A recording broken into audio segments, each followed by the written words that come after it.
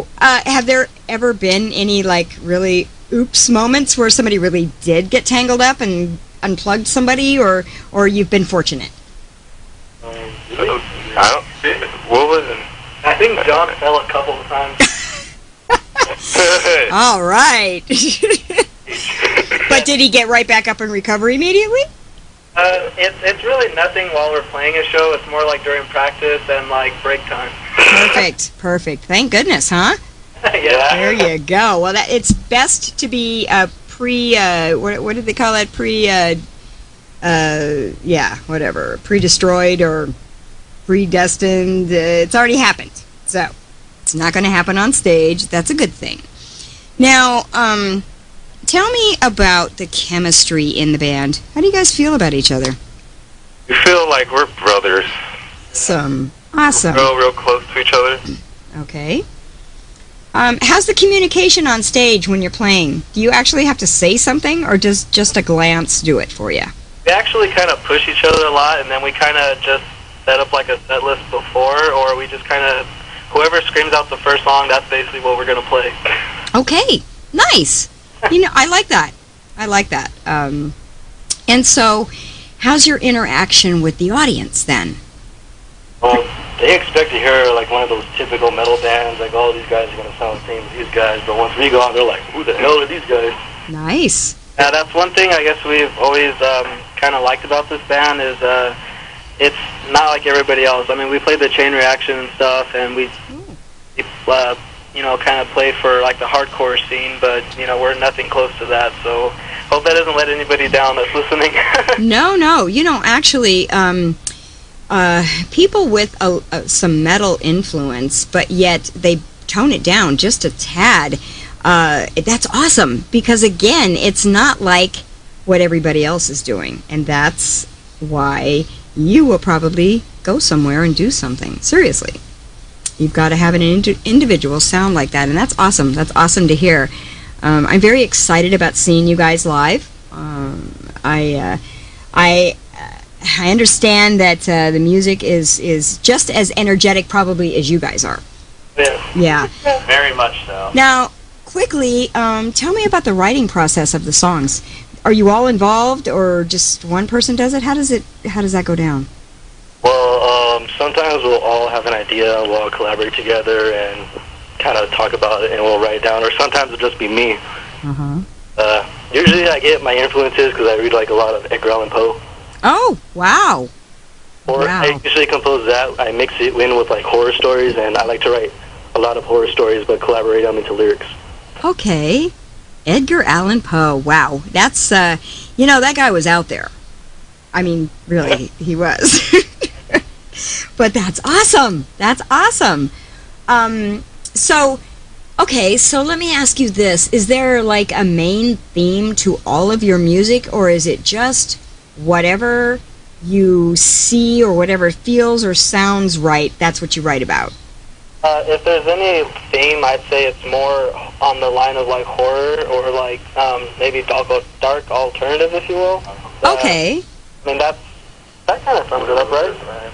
With like a little thrash and maybe like a little essence of goth, if you will, and kind of the, the catchiness of punk. So Oh, nice. And- a really weird mixture. No, I like that. You know, punk always brightens things up in my mind.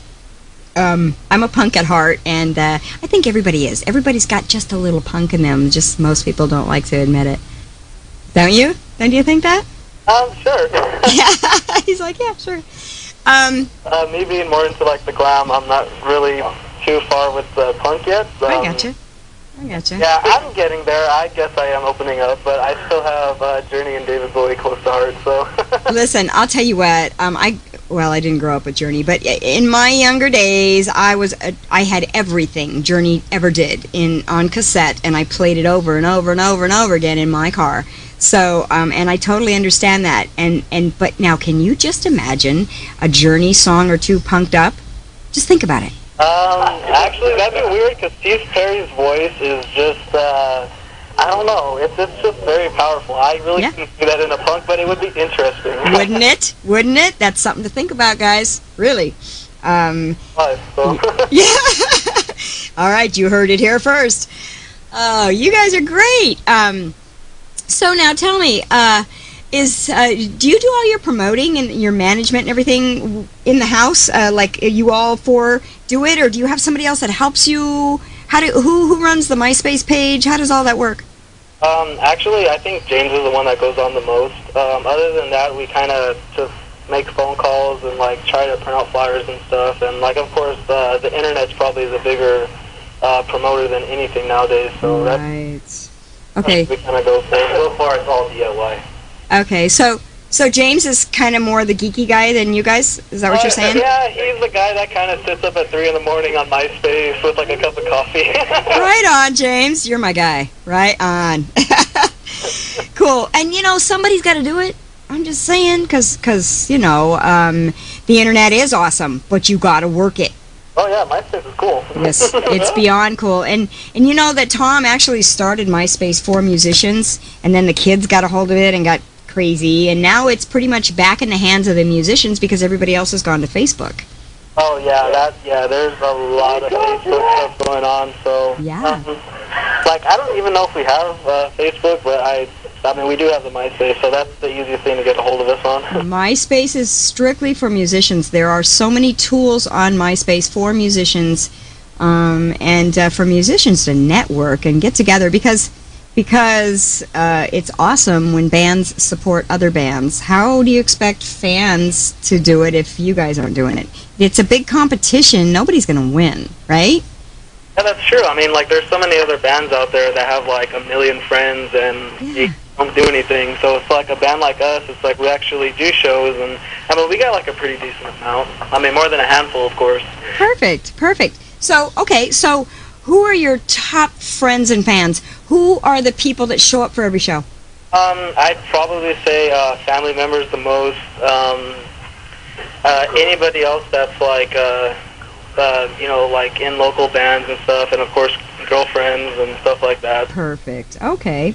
And yeah, awesome girlfriends. Um, there you go. You got to support your guys, right? That's right. Because if it wasn't for them, what would you be doing? Playing without them, right? Uh, but but the girls rock. I mean, if they're there to support you, it just makes you want to do it that much more. Um, all right. So now, do you have any shout outs you want to give or anything you want to mention before I have you introduce the next song? Um, other than the shows coming up, um, please check out our MySpace and um, support all your local bands. And um, other than that, uh, see you at the see you at the shows. Thanks All for everybody who came out and bought tickets for our shows. Like that, we really appreciate that. You know, and and folks, um, we're at war here with the pay to play thing. Uh, if if you can't find it in your heart to pay five, ten, or fifteen dollars to go see local bands, um, then there's something wrong. You need to support these people. These shirts and these, these this merch and this these mm, uh, uh, things that they come out with, these performances, these places that they go, they don't grow on trees. Uh, they need support. They need a couple of bucks from you people. Um, and it adds up. It, it just takes a few of you to come out to a show, pay the money, go watch them, and it'll help them get to the next show. Seriously. Uh, so, yeah, uh, support. That's very much true. It is. It is. Support We got to keep John over here, so he's uh, heading himself. yeah, they don't call him John the Beast for nothing. So. Hey there, woohoo! All right. Well, I am looking forward to seeing you guys live at uh, the Maximum Exposure Exposure Showcase in Reseda, as well as the Marquee Lounge on September 11th, right here in San Bernardino. That's going to be an awesome show, and I'll be talking about that more in uh, in upcoming shows. So, um, if you don't have anything further that you want to add, you want to go ahead.